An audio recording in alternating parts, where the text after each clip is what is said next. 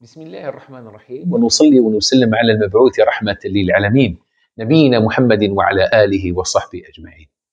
إذا معاشر الإخوة الأفاضل معاشر المستمعين دايما نمشي في الطريق أنه ربي يحبنا باش نكونوا أقوياء. المؤمن القوي خير وأحب إلى الله من المؤمن الضعيف.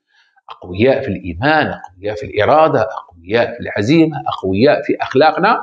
وأعدوا لهم ما استطعتم من قوة حتى نعيد لأمة الإسلام مجدها ومكانتها وحتى نرفع هذا الذل وهذا الغبن اللي هو على أمة الإسلام.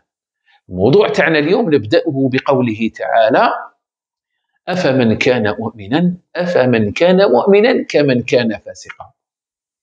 لا يستوون ويقول المولى عز وجل أم حسب الذين اجترحوا السيئات أن نجعلهم كالذين آمنوا وعملوا الصالحات سواء محياهم ومماتهم ساء ما يحكمون. مش كيف كيف؟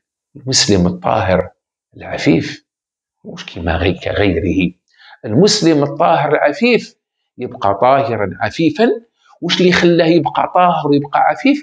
هو التزامه هو عفته هو طهره هو ابتعاده عما حرم الله سبحانه وتعالى. لذلك النبي صلى الله عليه وسلم ميز المسلم وسماه بأنه كيس معناتها يعرف صلاحه قوي. لذلك قال صلى الله عليه وسلم الكيس من دان نفسه وعمل لما بعد الموت.